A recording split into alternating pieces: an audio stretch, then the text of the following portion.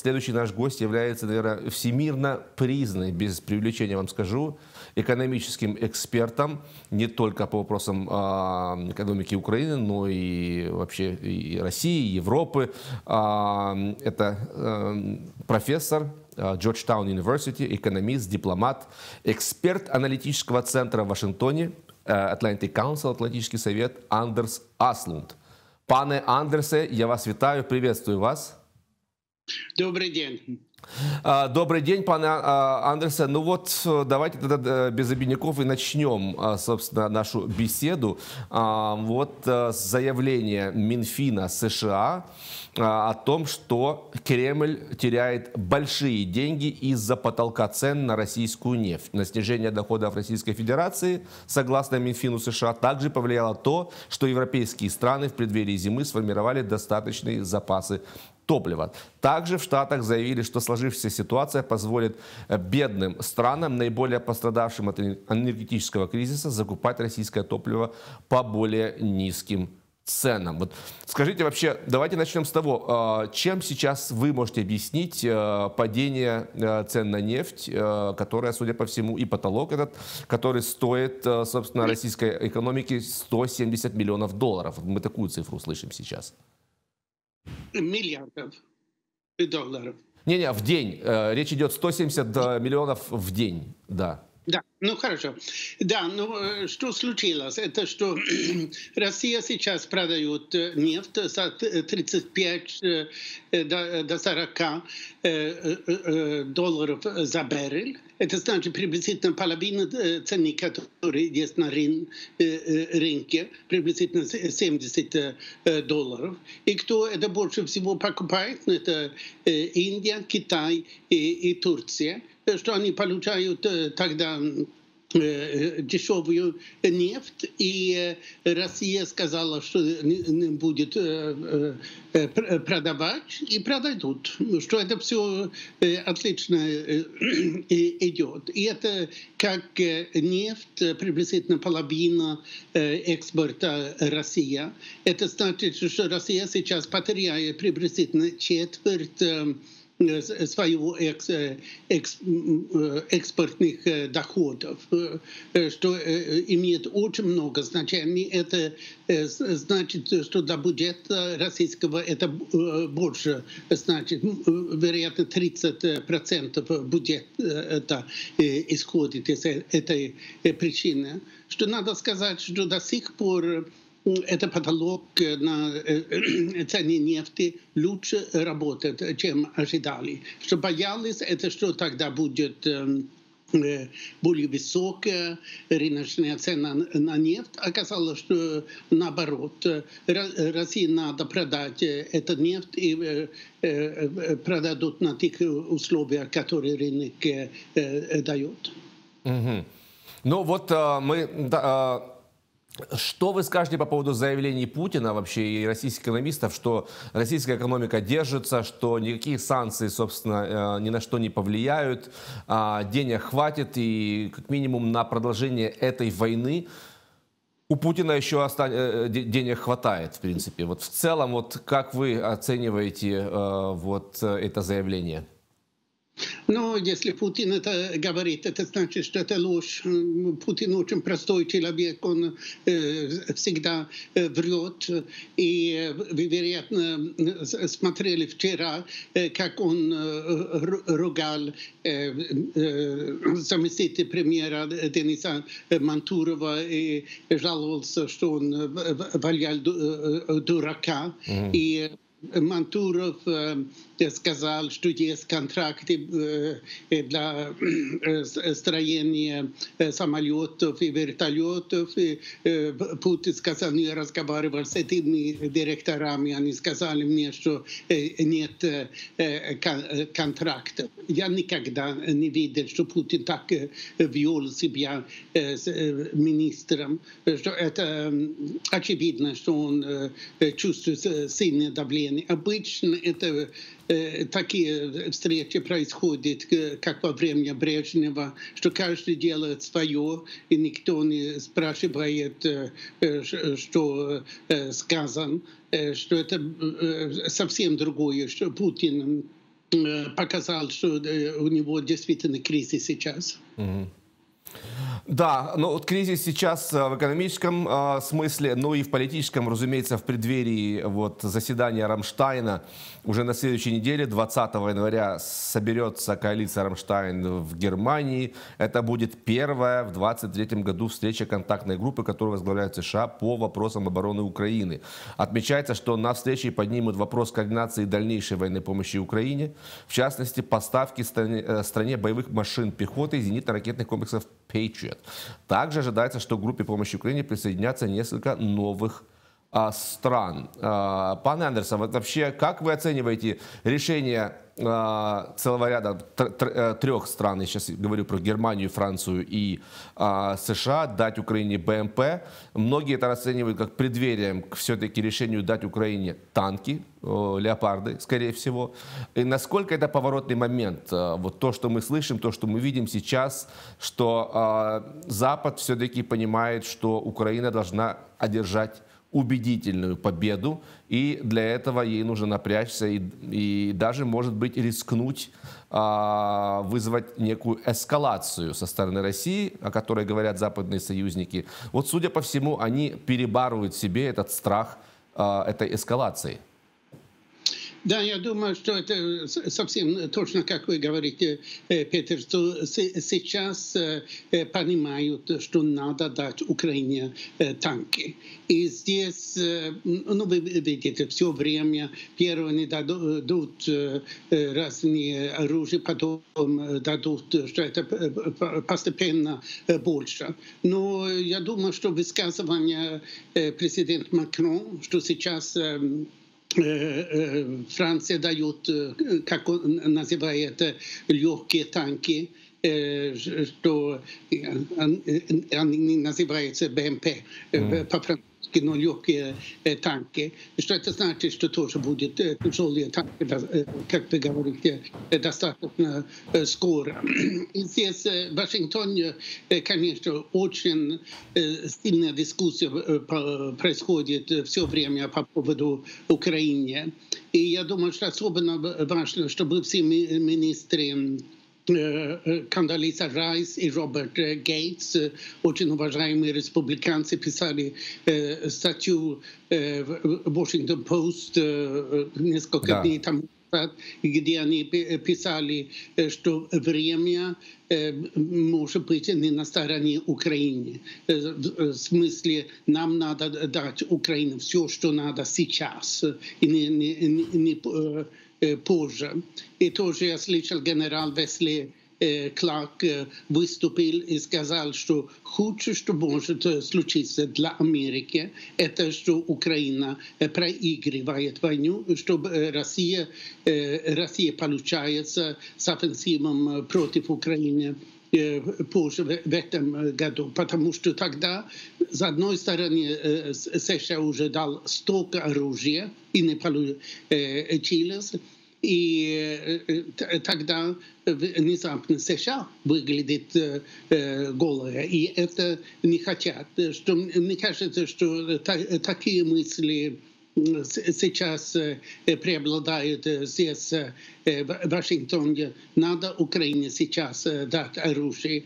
И, конечно, это странные идеи, которые оказываются особенно здесь, в Вашингтоне, в Совете Безопасности, что нельзя провоцировать Путина, что постепенно люди понимают, что это просто э, э, ерунда, что Путин делает, что он может, и это не очень, что это война, и не переговоры.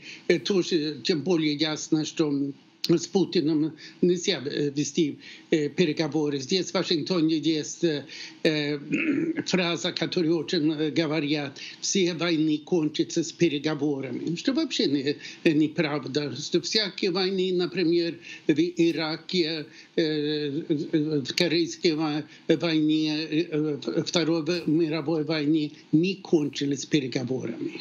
Это капитуляция или победа или революция на другой стороне, что это просто слабое мышление, и постепенно такие слабые аргументы проигрывают здесь.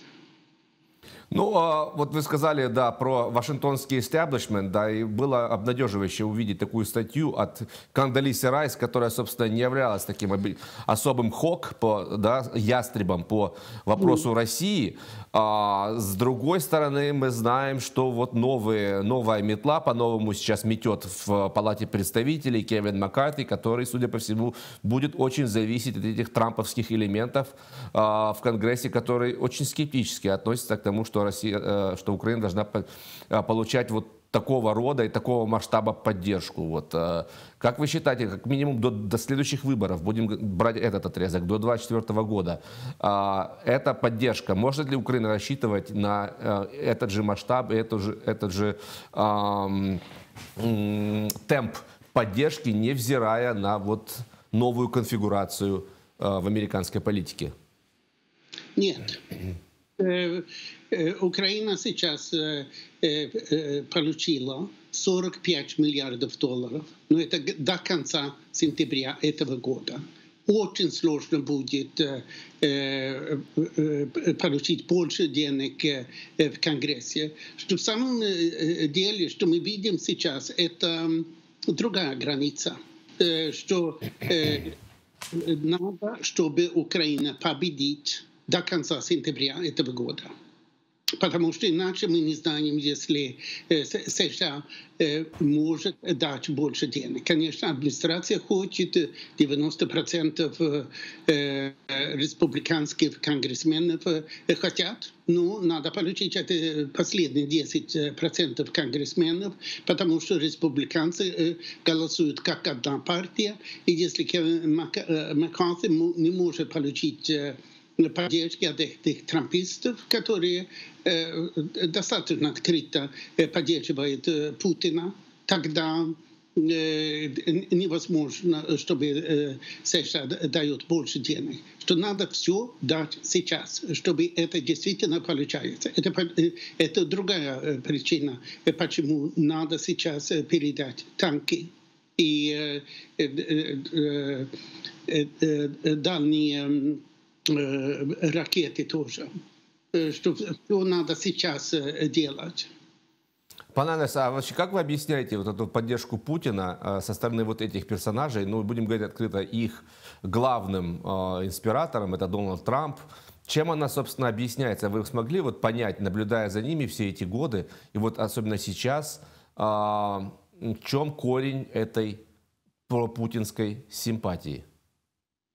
Но, к сожалению, мы, мы не, не знаем. Конечно, подозрение, что это конкретные деньги для конкретных людей. Но mm. это мы не знаем.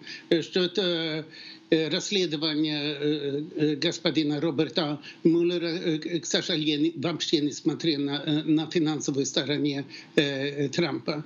Ну, тоже можно сказать, что Трамп вообще поддерживает диктаторов. Его первая поездка за рубежом, это была Саудовская Аравия, что он явно чувствует себя отлично, когда это авторитарная клептократия именно типа Путина. Да, ну тогда э, э, вопрос у меня все-таки, возвращаясь к экономической э, ситуации, в контексте того, что Евросоюз объявил, что будет сейчас а, вводить десятый пакет санкций а, против России, в, разумеется, из-за полномасштабного вторжения в Украину. Это новое ограничение будет касаться, собственно, и Беларуси. Европейские дипломаты неохотно делятся деталями будущего санкционного пакета.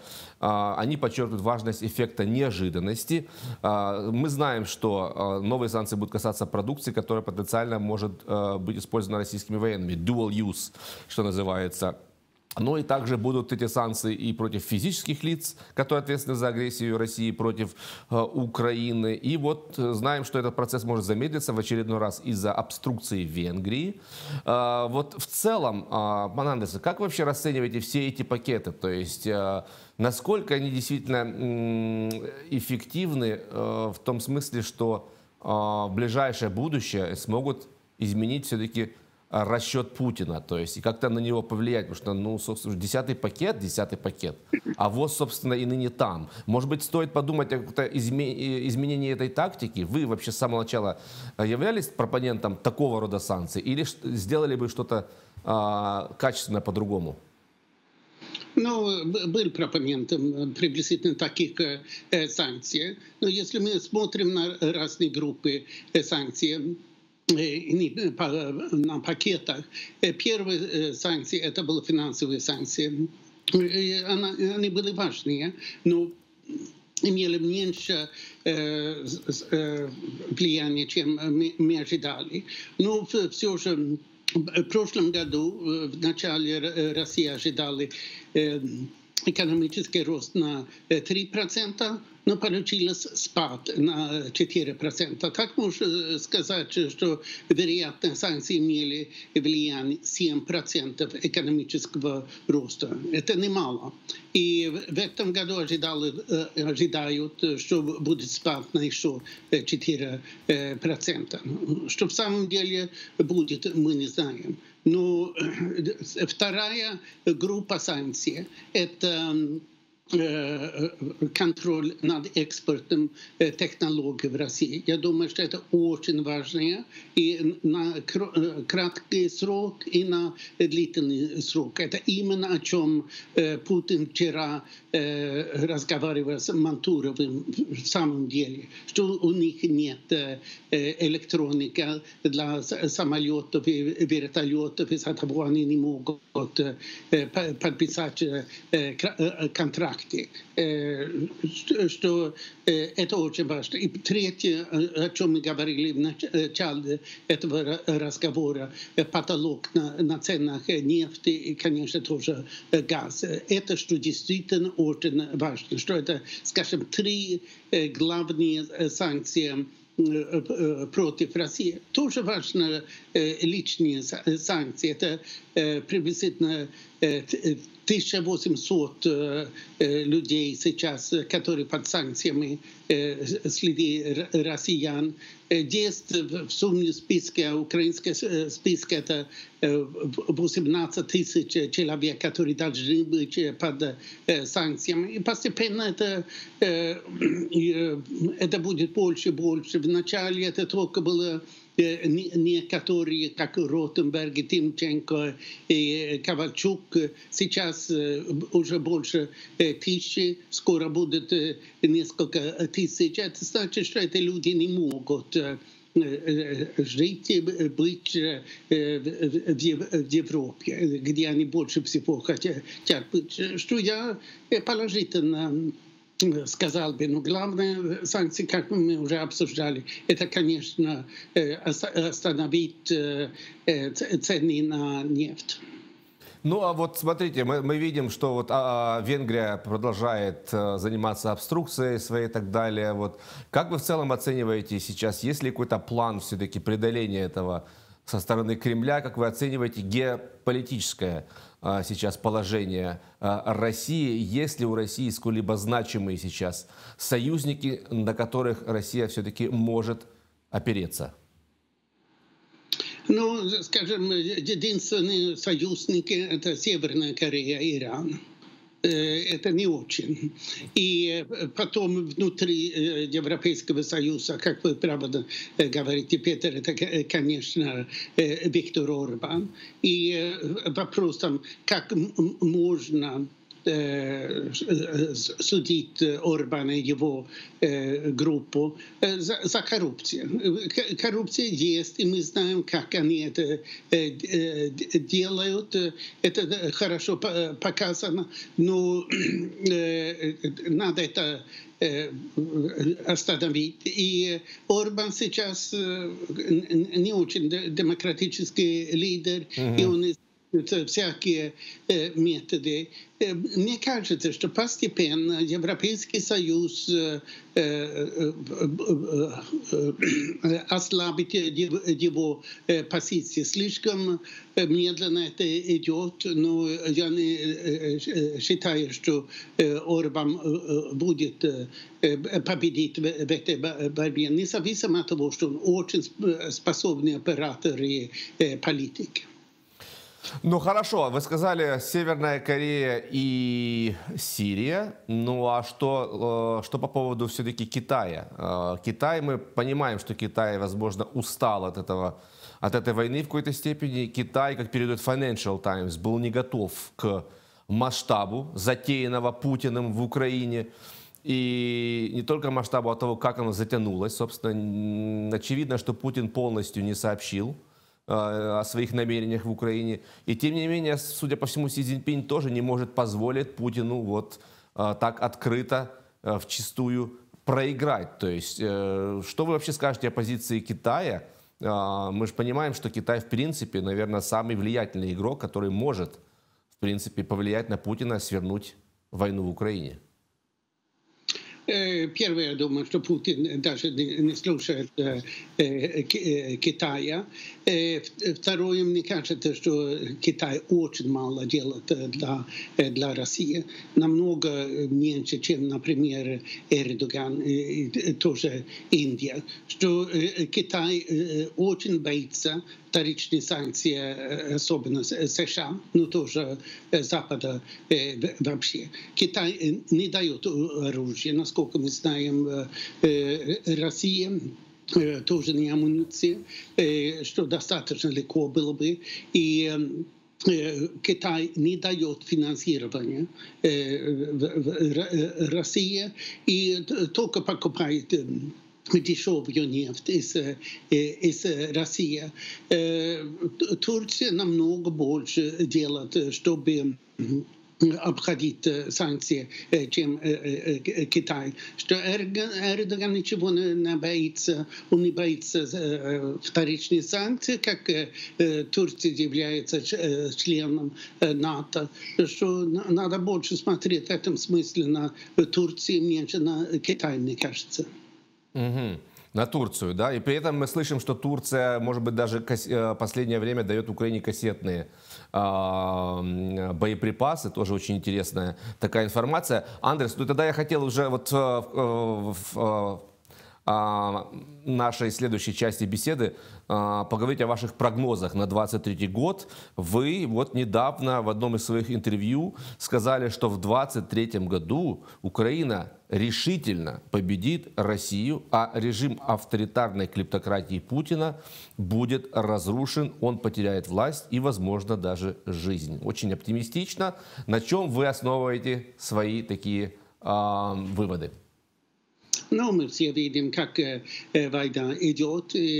Никто не ожидает сейчас, что Россия в ближайшие месяцы будет сильно атаковать. Ну, мы ожидаем, что Украина будет атаковать. Мы ждем давно большой, большой украинский offensive, что это о войне. И по поводу Путина мы видим сейчас, что он очень боится вообще встречаться с людьми.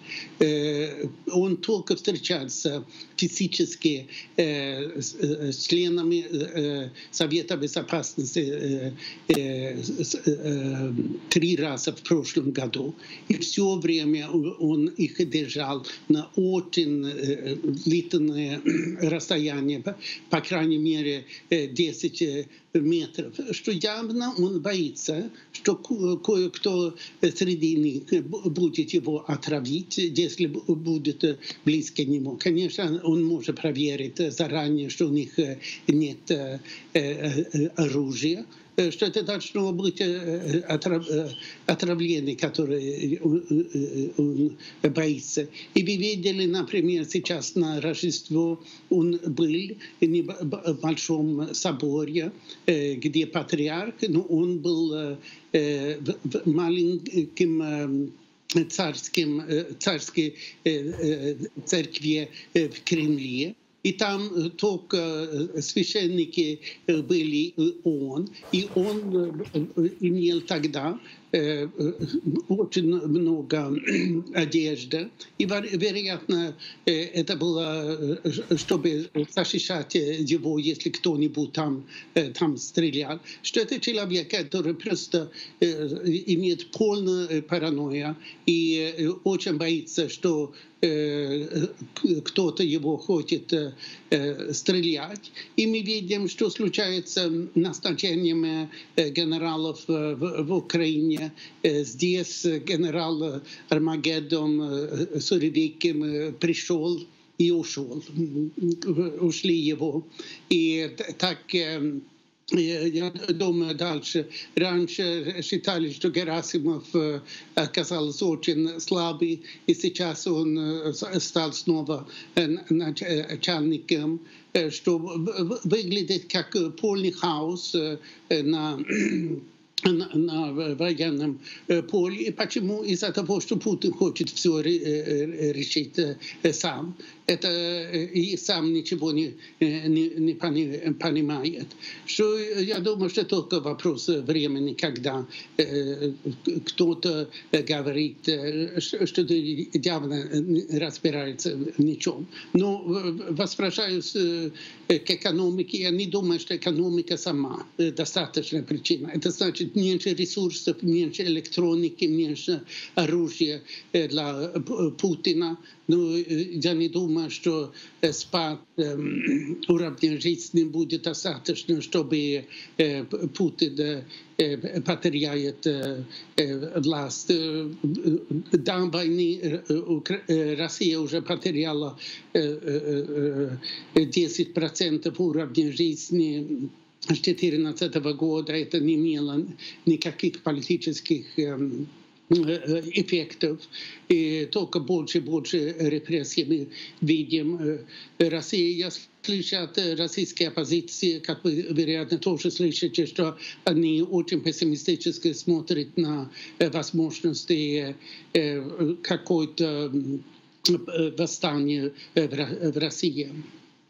Ну, а, а, пан Андерсон, да вот все-таки возвращаясь к теме распада Российской Федерации и а, да, Запад а, во многом боится вот а, распада неконтролируемого ядерной державы. Мы это понимаем, это же было и, помните, Чикин Ки спич, Буш старший, 91 год, то есть история повторяется, тут ничего нового нет. Ну, а, собственно, другая сторона медали, вот то, что мы слышим и сами используем Э, в своей риторике, что позволить Путину выиграть в Украине э, крайне опасно. А вот в чем вы видите опасность конкретно? Ну, не будем сейчас расшифровывать, какая это будет победа, тем не менее, вот э, если Путин сможет провозгласить победу в Украине, чем это опасно для Запада, чем это опасно для всего мира? Ну, совсем ясно, что цель Путина – это война. Э, у него войны первые в Чечне, э, потом против олигархов, но это не буквальная э, война, потом Грузия в 2008 году, в 2014 году в Украине, в 2015 году в Сирии, что Путин узнал, что войны повышают его популярность. И Центр Левада показал после войны в Грузии в 2008 году его популярность 88%. То же самое после аннексии Крыма в 2014 году. И сейчас, э, после того, что начал э, войне э, в Украине, 83%, чуть меньше. Но обычно его популярность 60-65%. И, конечно, это не очень реальные цифры, как Россия жесткая диктатура. Но это значит, что Путин после войны в Украине, если ему это получается, надо получить больше из Украины, и потом Молдова, которая практически не имеет защиты, и потом прибалтийские страны очень боятся, чтобы Россия возвращается туда.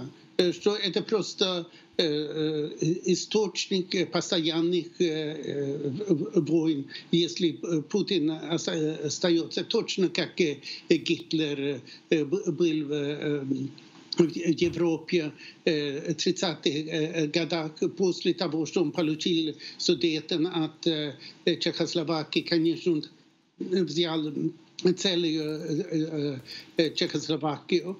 И Путин так будет действовать. Война — это его единственная возможность остаться при власти. Андерс, ну, хорошо, вот мы говорим про вот все-таки действительно большую опасность, если Путин сможет объявить сколь-либо убедительную победу, но так или иначе, как вы, вот последний же тогда вопрос, возвращаясь к теме евроинтеграции Украины, вы, как никто другой, комментируете вот эту ситуацию и разбираетесь в ней. А, последнее вот заявление европейских, если не ошибаюсь, Урсулы фон дер Ляйен, что покуда российские войска остаются на территории э, Украины, мы так понимаем, это может быть все, что хочешь. И Крым, и с 2014 года оккупированная часть Донбасса, моего родного Донецка.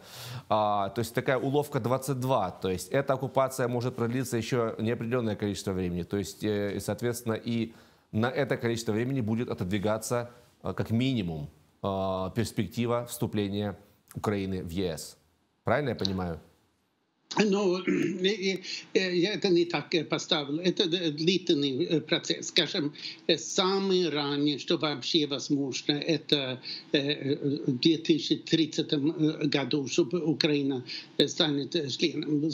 Первое, начинать переговоры, это берет время, скажем, два года, переговоры 3-4 года, потом ратификация два года. Это приблизительно так выглядит. Главная опасность это, что они начинают переговоры. И мне очень понравилось, как Европейская комиссия в июне прошлого года поставила семь условий. В основном это условия, четыре первые, это юридические условия, чтобы Конституционный суд и чтобы высший подъезд, как называется, законодательства или юстиции, чтобы они правильно избираются, чтобы там не будет скоррумпированных судей. Что я думаю, что это очень правильные условия. И важно, чтобы Украина действительно совсем выполняет это, это условие, тогда, я думаю, достаточно легко начинать. Те страны, которые не хотят начинать переговоры о членстве сейчас, это больше всего Франция и второе Германия. Уверен, что Венгрия тоже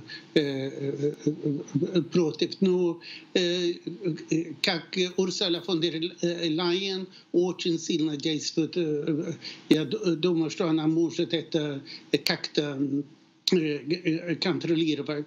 Ну, если мы смотрим на Европейский Союз, как смотрит на Украину, это Европейская комиссия очень поддерживает Украину. И я там особенно поддерживал бы Урсула фон дер Лайен, Шарль Мишель и Валдис Домбровскис, которые занимаются торговля и макроэкономики, который очень сильный человек в этих делах. И ну, никто не особенно против, кроме венгерский комиссионер, который в самом деле не играет никакой роли, как-то пассивный человек, не игрок, к счастью. И потом Европейский парламент обычно голосует 80% за Украину. Uh-huh большие партии там за Украину. Это только крайние правые левые, которые против. Но потом главное, последнее решение это Совет Европейского Союза. И там Венгрия, как вы упомянули, часто остановит санкции, например, против патриарха Кирилла, явно по поручению Путина. И ну, это не имеет значения, он может дать вето. И потом Франция, где Макрон очень капризный человек. Достаточно сложно знать, где он остановится. Например, он сейчас начал доставки танков в Украине. Это благодаря ему что он может очень самостоятельно действовать. И в Германии там слышно, что канцлер Шольц явно очень слабый человек, и социал-демократическая партия вообще перепутанная по внешней политике во многом из-за Gerharda Schröder. Но зеленые, Анна-Лена Бербок, которая только так было в Украине, отлично выступает по внешней политике.